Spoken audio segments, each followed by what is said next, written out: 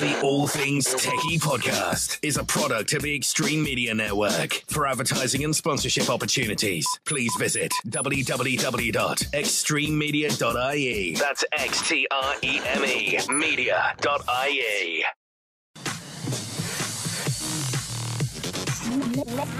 Making sense of the world of technology from an Irish perspective. This is All Things Techie. Hello, hello, hello. Justin Dawson with you. It's the All Things Techie podcast.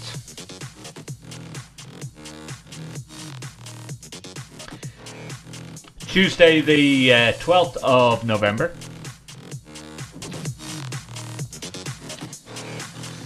And apologies once more, listeners, if I haven't been around. It's been a very, very, very busy time. Um, family is going to be growing soon to an extra member in the Dawson household. Um, so, uh, won't be attending the um, Learning Technology Space Management Group, the LTSMG conference. That's taking place tomorrow. So, we're on the eve of the LTSMG.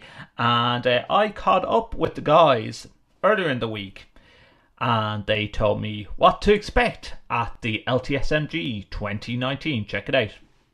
It's once again, it's rolled around to another Learning Technology Space Management Group conference. It's held every year. Uh, Adam has been given the role of uh, pretty, pretty much telling us all about it because Jonathan has bailed out on us today. uh, but Adam, you have been involved in this for many years now. What, what what's the how many conferences have we done now at this stage? So I've been part of the exec team since 2016 when we hosted it at the University of Hertfordshire. Um, but oh, yeah, I mean, I've been a member. I, I'm pretty sure I went to the very, very first one, which was about 25 years ago in Leicester. Um, so I've been a member for years, and I've been to multiple conferences across, you know, lots of different universities across the country. Um, yeah, really enjoyed it. And then uh, when sort of the call went out uh, a couple of years back saying anybody want to host a conference, I sort of, you know, jumped to the chance. Well, I would say jump to the chance. I, I volunteered, and uh, yeah, it was absolutely really successful. It sort of um, coincided with being asked to join the exec team and a bit of a rebrand of the group and stuff like that. So when we run it at Hertfordshire, we we're using all the new logos and the new way of doing things and a bit of a new structure for the group. So yeah, really really successful, and uh, we kind of used it as a launch pad going forward. Now let's let's go back there. Twenty five years ago. Yeah, Now yeah. I I know even last year when I my first LTSMG we had about thirty to thirty five different trade stalls. I Yep. think in the room. Yeah. How many would you have had back twenty five years ago? So I, I think when it when it first started, it, it was kind of a little bit of a smaller, you know, let's get a go, load of people together and talk about some issues of the day. I, I I don't recall there being any, but there may there may well have been a couple of sponsors. But as the group developed over the years, um, it it generally ran with about you know, average of about six six to eight sponsors. I think there were there were times where there was more, there was times when there were less, um, and as it moved around different places. But um, yeah, so University of Warwick, which we did in 2015, that conference there, that was the first significant jump. So that was up to about 25, I think. Um, when we came to Hertfordshire, we had a bit more space, so we we just uh, added more. We we sort of filled the space we had, which was really good. Gives you know gave us a lot more opportunity to showcase some different technologies. Um, so that's that's kind of a good number for us. We we had 35 last year. We're at 31 this year, I think. Um, again, we're so it's, it's one of these conferences because it goes around to different venues. It kind of has to flex and it, to to suit the location. So yeah, we're we're actually in a really good position where it's sort of it's seen as quite a, a, a good thing to do by manufacturers and vendors and other sponsors. So we must explain to our listeners, uh, just in case some are not in the higher ed capacity, this this is all technology managers and audiovisual and IT managers coming together from not only UK and Ireland. I think we have some members in Malta as well, don't we? We've got members in Australia, the US, Singapore, Hong Kong, um, quite a few countries around the world. You know, not not vast numbers, but um, the majority of it is UK based. But um, yeah, it's AV, learning space, technology managers in those kind of roles within those institutions, higher education institutions. And the great thing is, not everyone gets to go to Integrated Systems Europe. No, not everyone gets to go to InfoComm. And some people say InfoComm and ISE, it's very private sector trade based, whereas we are specializing in the higher ed capacity. We have questions uh, that we need answers to in higher ed that is sometimes missed at these trade shows and trade affairs, uh, like like the size of ISE and InfoComm. Yeah, so it's uh, yeah we, we we tend to be very focused. So the vendors that turn up and the sponsors that come to us, they tend to bring technology that is very education focused. I mean, not all of it, but there's there's a lot of overlap. But you know, things that they are they're they're targeting education to sell to. So it's it's a relevant technology to us, which is which is really good. It's really useful to see that that mix of stuff within you know a sponsored exhibition. Um, the beauty of the LTSMG group really is you were saying about people don't get to go to it. Our sort of unique selling points really is we we fully fund it using the sponsors' money. Really, we we can pay for everybody's hotel accommodation and basically look after them from the time they arrive in the the host town, city, venue, whatever, uh, until they leave. So it's, it's it's really good. It does give people the opportunity to come along who don't generally get opportunity to go to things like that. We kind of make it a good time. You know, it's good fun to go to. There's a lot of interesting content within the presentations as well. I mean, this year we've got Amazon as our keynote speaker talking about, you know, integration of voice control into you know, education and AV services. So that's really really interesting. We've got Avixa as a big supporter of us. So we've got Ben doing a bit of a uh, an update for the members, and we've got you know the world famous Chuck Espinoza turning up as well. Now, uh, there's been a lot of rumors going on about what Chuck Espinoza is doing at this. So this is where I'm going to bring in Dave. Dave is is is leading up the hosting um, the conference this year. Hello, Dave.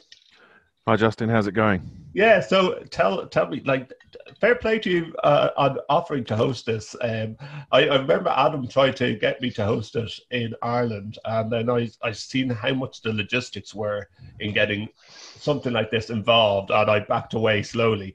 Um, this it really does. I say it's a, it's it's a full year in the planning of of getting all these uh, participants to come to your college. I, I, love the way that whenever anyone uh, says to me about hosting LTSMG, they sort of say it with with an air of congratulations um, and and perhaps sympathy. um, but no, it's a really really exciting opportunity, and and in fact, um, I would say uh, it's not just a year in the planning; it's more like two years in the planning. Okay. Um, certainly, that's how it's been for us here in Cambridge. The first initial conversations that I had um, with Adam and, and Jonathan was just at the um, the closing session um, at University of Herts two years ago, mm-hmm. Um, when the guys sort of um, pinned me in the corner and said, "So uh, Cambridge 2019, then uh, how do you feel about it?" Um, and I'd, I'd, already made some noises about the idea of uh, the group coming to Cambridge at some point in the future and it felt like 2019 was going to be the right time to host it here at the University of Cambridge. Now, last year was my first LTSMG in the Olympics uh, Park, and having a, a fantastic meal um, on the second night. You're not going to give away any surprises. We we've we mentioned Chuck Espinoza's name. I heard there was supposed to be a karaoke theme, and then I heard it's been quieten down a bit. So is there going to be AV Roki going on at the LTSMG this year? Well, Chuck is going to be joining us at LTSMG. We're very excited about that. But uh, I think it's, it's always good to leave certain elements of the program, particularly the entertainment, um, as a surprise. So let's not give too much away at this stage. But you know, who knows what's going to happen on that infamous uh, Wednesday night of LTSMG. And now, of course, I always think logistically wise, it's getting everyone here at, to the LTSMG and also the transport, the accommodation, and everything. And I guess being an older university, is is the transport good around your university? Well, it's a good question, and in fact, that's actually been been one of the biggest challenges for us guys organising it this year. Is that it's quite a different setup, um, sort of geographically in Cambridge than it is with most of the other universities that we visited that are um, what we know as more more traditional campus university, if you like. Now in Cambridge, it's very different to that. The university is spread all across the city. Um, it comprises quite a large part of the city, um, but it is rather spread out. So we've got roads and shops and, and parks and everything that, that split up the university and the colleges. Um, and it does make it a bit more interesting getting around. So um, the biggest challenge probably for us this year with bringing the event to Cambridge is actually going to be getting the 31 sponsors loaded into our, our city centre um, exhibition venue, which really is in the dead centre of the city. It's right next to the market square. Um, which is a really central location. Um, but we've got a great team um, at the venue uh, who are used to loading in large exhibitions and events, so they're they're going to be all over that for us. It, it like I'm just looking at the at the actual schedule here. It it has. So I'm I'm really interested in the uh, Amazon Alexa um, doing doing the keynote uh, speech. Um, is there many campuses uh, across the UK, Adam and Dave, that, that are using Alexa in in their campus? I, I guess you are, Adam. So there's a few, yeah, who've been developing some some systems with Amazon. So uh, we're doing some proof of concept work with them. Um, so I've actually got uh, sort of a teaching room set up that does work by voice control, but it's a very it's very basic at the moment. But we just sort of trying trying a few things out, and I, I don't know. I'm sort of a bit you know unconvinced scalability that a teaching room is the right place for a, and a you know, a little uh, Echo Dot to sit on the lectern, but actually meeting rooms, um, I think there's a lot we can do with it. Uh, the University of Hertfordshire, for example, we use this Herts uh, Ask Herts app. Mm-hmm. So you know, it's a bit of a triage. Any student just go on and ask, "What you know? How can I, can you solve this problem for me?" And he points you in the right direction. But actually, in a meeting room, I mean, if you want to book a room, order some coffee or whatever, then you know potentially there is options that we can use that for. So we're still trying it out.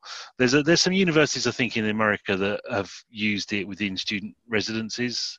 So you know there's there's, there's something to ask, and it's very localized as well. So you know Alexa, what time does my physics lecture start, or something like that, and it can give you the information sort of personalized to you.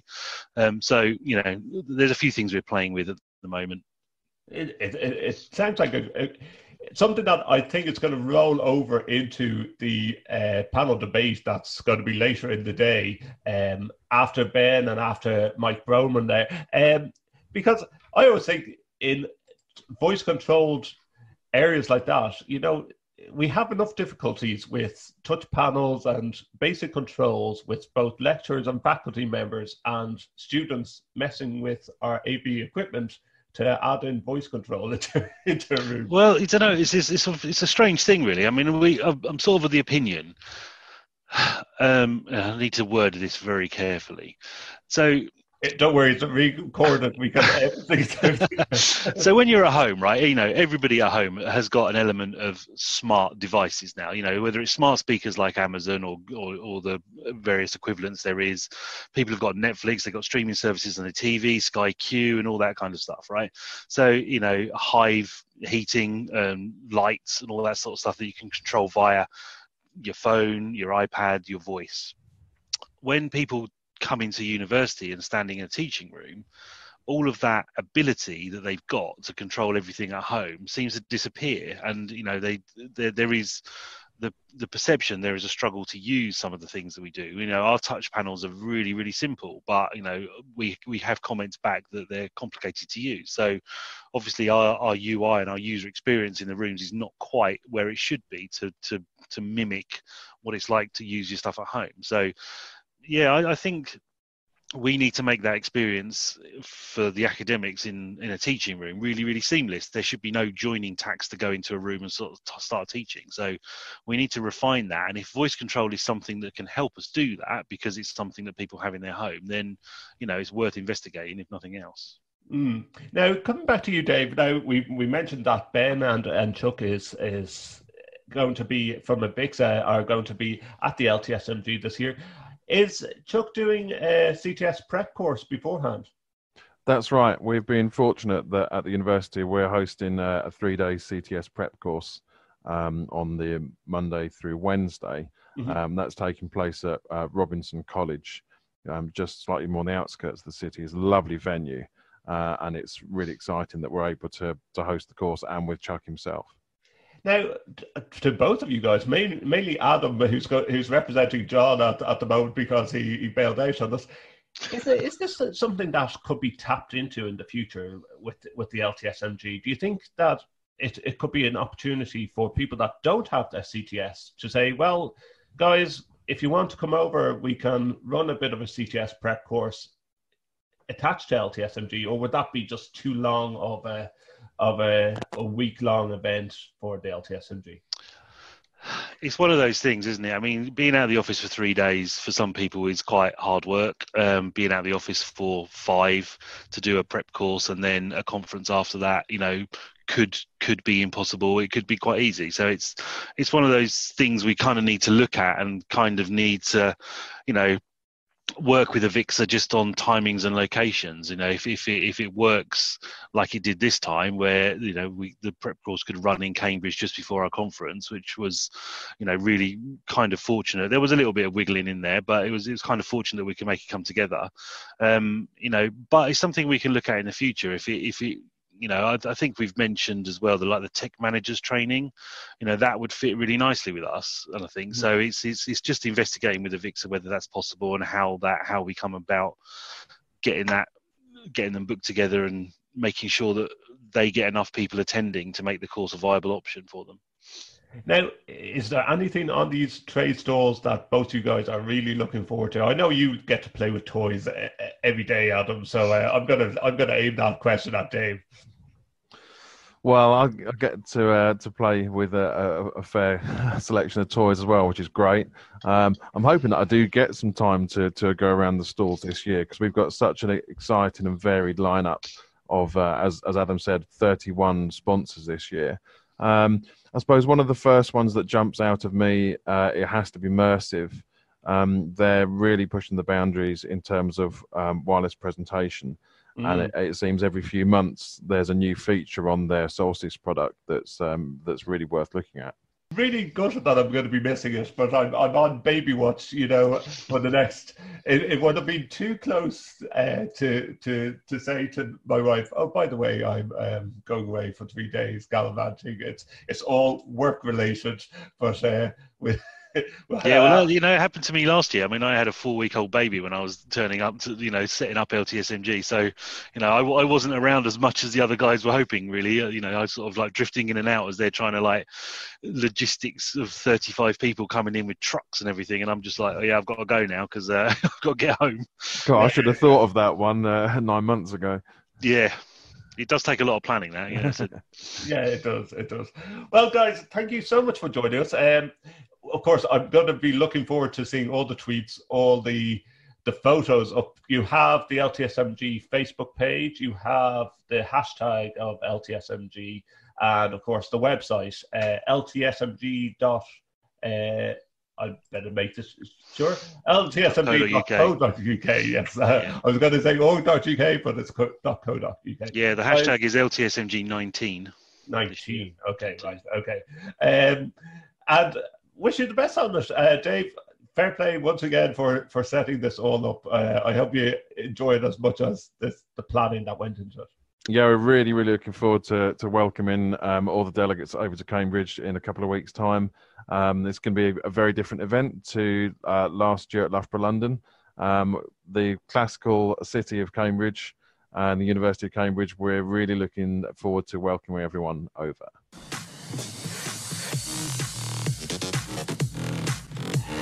Technology from an Irish perspective. This is the All Things Techie podcast.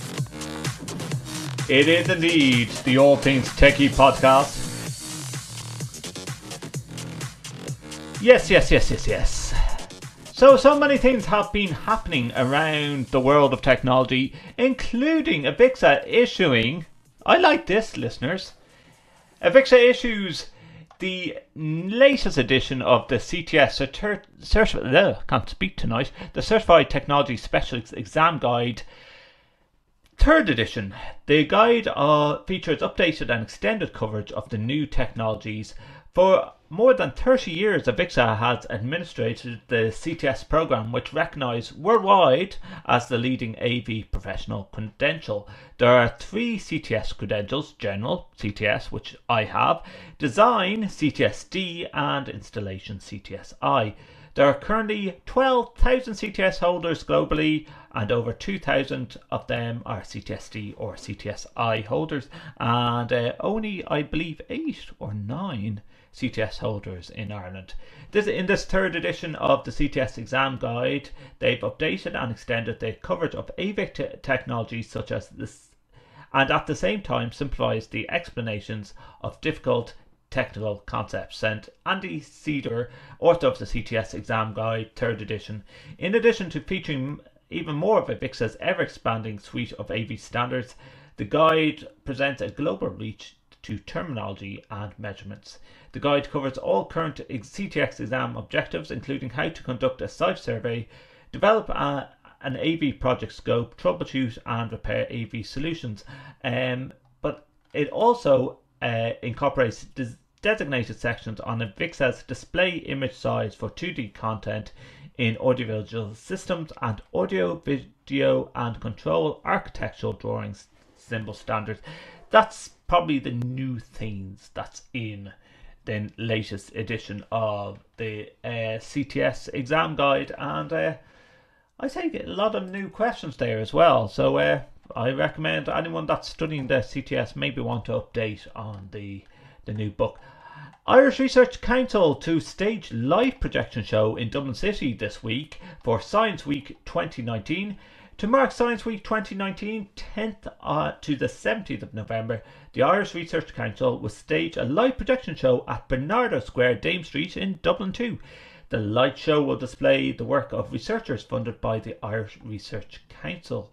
The show will go live and will be on display every evening from 6 pm to midnight until Sunday, the 17th of November. I must try and get in and have a look at this. Projected from the adjacent Dublin City Hall, the show will be visible on the side of the well known Dublin City Council bu- building on Bernardo Square. The live show features questions inspired by the work of Irish Research Council awardees funded under the Council's uh, Laureate and COALESCE Awards scheme. It aims to raise public awareness about the importance of research being done into areas of vital human interest.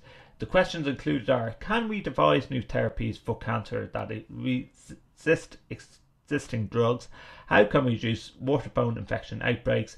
And why is seafood uh, the key to smarter urban consumption?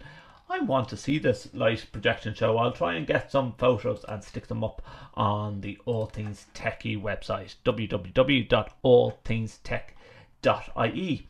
Eir the Irish mobile phone company, um, uh, uh, of course, um, they have offered 10 euro uh, tariffs, 9 euro 99 tariffs. I can't wait to be out on my mobile phone tariff, listeners. I am currently being charged 65 euro a month. Ridiculous amount of money. I can't wait to be out on my tariff uh, and be able to switch to this uh, new tariff, uh, which is just internet only. I'll stick the uh, information up on the show notes on the OT's Techie website. Uh, but Eir is behind the scheme, so you go onto the website and just sign up to the new nine euro ninety nine tariff, and I think it's all you can eat data and phone calls as well, which is really, really ins- uh, a good incentive. And I think really good incentive for students uh, and the likes. Uh, they don't offer any upgrades of phones or anything like that. It's just if you want a cheap tariff. But Eir launches the Ireland's largest 5G network across 10 cities and towns. Eir today launched uh, its new 5G mobile network, which has gone live in 10 towns and cities across the country, beginning with the 100 5G sites across Ireland's five largest cities. Dublin, Cork, Limerick, Galway, and Waterford, as well as Carlow, Castlebar, Dundalk, Drogheda, and Kilkenny. It will allow Eir customers to enjoy the unrivaled speed and reliability that 5G offers, with peak speeds of over 1 gigabits per second. Another 100 sites will be launched in the coming weeks, bringing the coverage to Athlone, Bray, Ennis, Letterkenny, Sligo, Tralee, and Trim in time for Christmas. A further 100 sites will be added early in the new year to bring the total number of towns and cities with Eir 5G coverage up to 20. 5G is available to Eir customers on a range of 5G devices, including the Samsung A90 5G, the Samsung S10 5G, and the Samsung Note 10 Plus 5G, and the Huawei Mate 20X 5G, with prices starting from only 99 euro. Uh, Eir CEO Carolan Lennon said, I'm delighted to launch Eir's 5G network, giving our customers widespread access to the next generation of mobile connectivity um, and more details on the All Things Techie website about that new uh, changes. Facebook has said it's still reliant on users to flag issues that it may have missed. Facebook has admitted that it's unable to track all political adverts on its platforms as the company faces continued pressure to ban them entirely. You know, I was watching a brilliant uh, documentary on Netflix about Cambridge Analytica, and my goodness, like it really puts things in perspective of how many accounts were manipulated, what stats were behind Cambridge Analytica, and how many elections has that affected is absolutely uh, anyone's guess, listeners. But uh, really scary statistics on uh, from Cambridge Analytica. I'll try and find the name of the documentary and put it up on our show notes. Audio visual from an Irish perspective. This is the All Things Techie podcast. Now, from uh, oh, I always forget how that image uh, ends. Mysterious WhatsApp battery drain on OnePlus has users confused. This is from Silicon Republic. Reports from OnePlus owners experience significant battery drain because of WhatsApp has sprung up globally with no clear cause. If you own a OnePlus phone and have noticed your battery drain much faster than usual, you're not the only one. A number of reports have appeared on the company's own user message boards as well as Reddit claiming that WhatsApp has started draining their batteries significantly more than other apps. OnePlus owners have also taken their frustration out on the WhatsApp Google Play Store page. According to Android Authority, problems first seem to occur after the latest WhatsApp update to version 2.19.308 and both Android 9 and 10 on OnePlus phones. I see WhatsApp have also brought out a new privacy feature where you can uh, fingerprint scan. I tried it out. I don't didn't like it. If you have a phone that has a fingerprint scan function to get into your phone, do you really need to have a security feature again if you want um, to access your WhatsApp. It's was useful at times. I, I just thought like it was a bit of a pain, and I t- said to myself, my phone is already protected by a um a fingerprint scan, so why would I want a, a second one? In um other news, I I see that Copperleaf Media listeners have brought out um, a research into AV awards and apparently, the AV Awards are the hardest to win in Europe, while some other award schemes are dominated by the same companies every year, according to the independent that's the key word, listeners. Independent research by Copperleaf Media. The AV Awards are the, in England, the ones that uh, I've been in twice uh, for European CTS Holder of the Year, and I got into the finals of that, and AV Professional of the Year, and I didn't enter the AV Awards for 2019.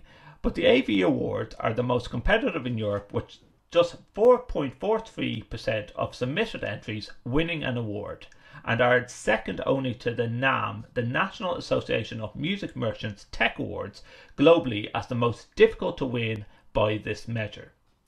However, some award schemes are dominated by the same companies every year. Well, I think the AV Awards is dominated by the same companies every year. That's a personal opinion by me.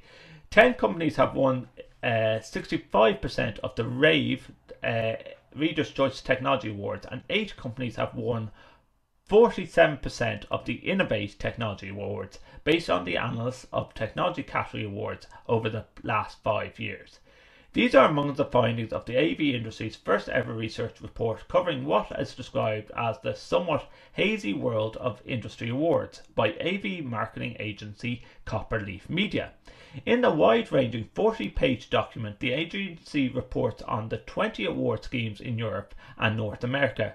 Research was conducted by telephone interview with the majority of award organisers and by online research. The report aimed to answer the three main questions. In the time, effort, and cost worth is it against the potential exposure and entrant might receive? Is the judging process credible, making it an award that actually means something? Could there be bias or in in the awards um, as well? And to answer these questions, Copperleaf, me, Copperleaf performed three ta- key tasks research into how each award is managed and judged, analysis of how transparent the, the process is and whether there is an opportunity for bias, and finally, review of what shortlisted and winning companies receive in the terms of exposure. The report also includes a history of all product and technology winners over the last five years in a, an at a glance view of who won and which award when, in addition to a number of charts and tables summarising the finding for each award. Copperleaf director Roland Hemming commented, Clients frequently come to us asking advice on which award to enter. While we had our opinions, of course, and plenty of experience, our advice was an, only an anecdotal at best, so we decided it's about time we had some real data to draw up upon. As nothing of that nature actually existed, we decided to do some research ourselves, which turned into be out to be a fascinating process. So often we hear the mutterings of unfairness or bias about who won what, added fellow director Kira Leeming. This is the first exam- attempt to uncover the truth about how all these awards really operate and what companies can really get out of them. And you know what? I'd love to hear our listeners' opinions on this survey. Now, I, again, again, I love to have my hand on this survey. Um, apparently, you have to buy the the full survey, uh, but interesting the stats that I just read out, and I'll put those stats um up on the All Things Techie website under our show notes. But um, apparently, the the report is available to download from the Copperleaf uh, Media website, but it is ninety five pounds to buy. I love if it was. I know it it costs to do this type of research, listeners, but if they could give some more information out to, to of which award categories are the best and which are not, um, I'm sure the information will become available over time on social media when people buy this awards research. But one thing that bugs me, listeners, okay, there is different AV awards. The AV awards in London. Big awards. Costly experience if you're trying to fund it by yourself. Um, if you're a big company, people buy tables and they make a big night out of it. It's a black tie affair. There's hundreds of tables. I think that in 2018 there was 110 odd tables in this massive venue in, in the Grosvenor Park Hotel. They now moved venue this year. Um, but what I like in one of the awards that I won was the AV Nations Award, which is a Reader's Choice Award done online. Yes, there's no award ceremony, there's no dinner, and there's no champagne reception, etc., etc. But what means a lot to me is the fact that readers and bloggers and AV professionals around the world were able to vote on this free of charge and then it was collaborated and there was different um, rounds and myself and Joe Way got into the finals and then I pipped him to the post. I don't know how but that meant a lot to me because you the listeners and AV people and people around the war- world voted for me. Um yes same similar with judges and for the AV awards but you have to pay into these awards. And they, the, the point is, if you're an AV professional um, as an individual trying to submit your entry on your own, it's costly experience. Um, there's the AV Technology Europe Awards that's only started in the past two years or three years. And then there's Rave who literally go out and go to different trade shows and they they vote on on what's the best trade store stand. And if I'm correct me if I'm wrong, I don't think any of these uh, companies at at the trade shows are buying into the Rave Awards. So sure that you as a company have to buy your entry into these awards. I honestly, personally believe no, you shouldn't. I think if there's an awards, that it should be okay if you want to go to the ceremony, whether it's in London, whether it's in Germany, um, Amsterdam. Uh, the uh, uh the first AV Tech Europe Awards was after ISE. Now it, it took place in London last, but I think, okay, if you want to go to an award ceremony, fine, buy your dinner or whatever the case may be and have a great night. Should you have to pay 200 plus pound sterling to enter an award as a company or as an individual? I don't think so. I'd love to hear your thoughts on that. Uh, you can tweet me at Justin R Dawson. You can use the hashtag all things techie or visit our website www.allthingstech.ie. Tech, tech, technology, technology from an Irish perspective. This is the All Things Techie podcast. That's all for this episode of the All Things Techie podcast. Uh, Simon will be back with me next episode. Uh, a very quick episode. Um, who knows when I'll be back because, like, baby number two is on the way. Um, for those attending the LTSMG conference, enjoy yourselves, have a drink for me because I'm not attending. I am in the next couple of weeks I'll be changing a lot of nappies um, and uh, I will be back with you with more episodes before the Christmas period uh, talking about the best tech gadgets to buy for for Christmas.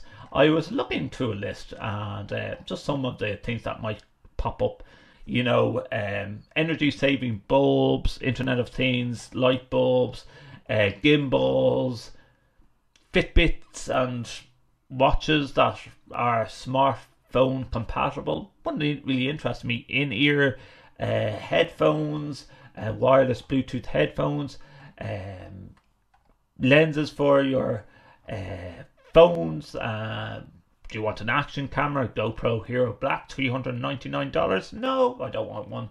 Um, smartwatches?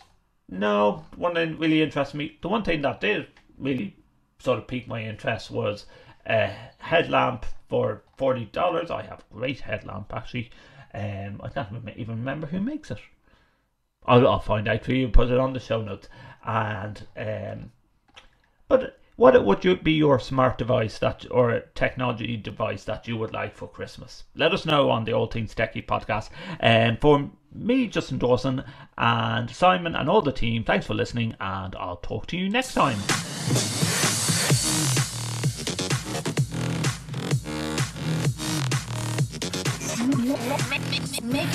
The world of technology from an Irish perspective.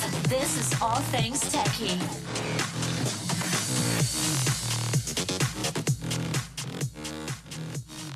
The All Things Techie podcast is a product of the Xtreme Media Network. For advertising and sponsorship opportunities, please visit www.xtrememedia.ie. That's X T R E M E media.ie.